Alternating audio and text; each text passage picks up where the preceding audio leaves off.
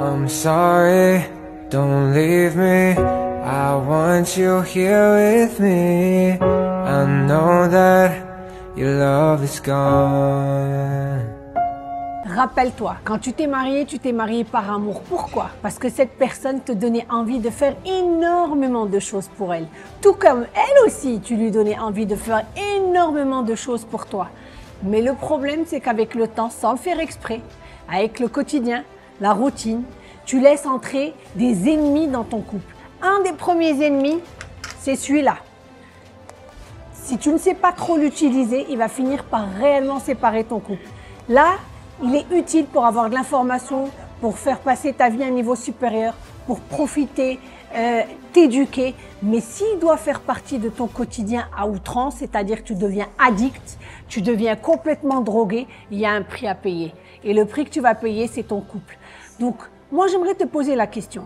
Est-ce qu'aujourd'hui, en étant honnête avec toi-même, sans te mentir, si tu devais te mettre devant un vrai miroir et pas un miroir en bois, est-ce que en ce moment où je te parle, tu vis avec quelqu'un qui est ton mari, ta femme, et vous êtes comme des colocataires, ou alors est-ce que vous vivez en amour avec votre partenaire qui peut être ta femme ou ton mari? Laisse-moi te dire qu'il y a des signes avant-coureurs qui vont te donner la réponse. Est-ce que tu vis avec quelqu'un et ça devient juste comme un locataire? Ou alors tu vis en amour avec ton partenaire Est-ce que vous continuez à faire des choses ensemble? Du sport, aller au cinéma, aller au restaurant Est-ce que quand tu es en présence de ton partenaire, toi, épouse, toi, mari, est-ce que tu lui accordes du temps ou là-tu toute la journée et tout le temps que vous passez ensemble, tu as le nez rivé sur ton téléphone? Est-ce que vous partagez des choses ensemble?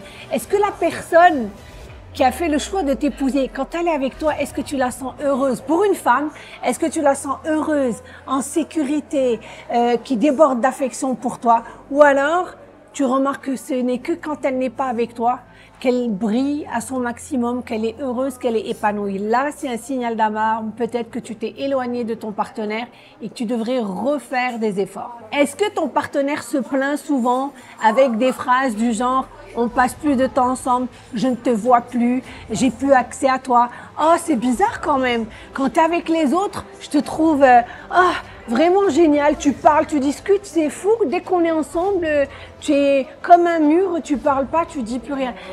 Dis-toi bien que ton partenaire, avant de commencer à te désaimer, parce qu'il y a un désamour qui se crée, il faut pas croire. La personne, quand elle t'épouse, elle a un cœur rempli d'amour pour toi.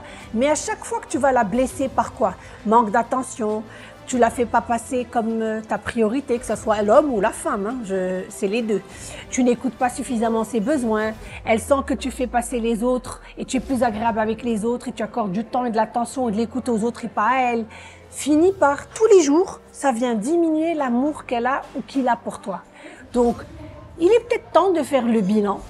Et je vais te conseiller un exercice extraordinaire que je faisais moi avec mon fils. Et c'était fantastique.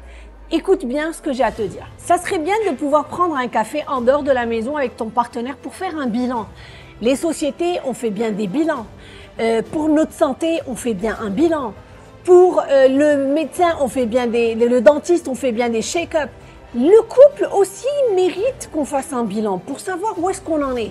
C'est de prendre un café avec ton partenaire et de dire OK, j'aimerais qu'on puisse parler, faire un peu l'inventaire de qu'est-ce qui va bien dans notre relation, qu'est-ce qui va moins bien, qu'est-ce qu'on faisait avant qui nous rapprochait qu'on ne fait plus, et qu'est-ce que on ne fait pas du tout et qu'on devrait peut-être envisager de faire pour rapprocher notre couple. C'est un exercice qui se fait à deux, c'est un exercice qui doit se faire au moins une fois par an et surtout sortir avec des plans d'action qu'on va respecter. Je te promets que si tu fais cet exercice avec ton partenaire, tu vas te retrouver dans la deuxième catégorie qui est nous sommes en amour ensemble et nous ne faisons pas que vivre ensemble comme des colocataires. C'était Nahid Rached, celle qui fait passer ta vie, y compris ta vie de couple, à un niveau supérieur.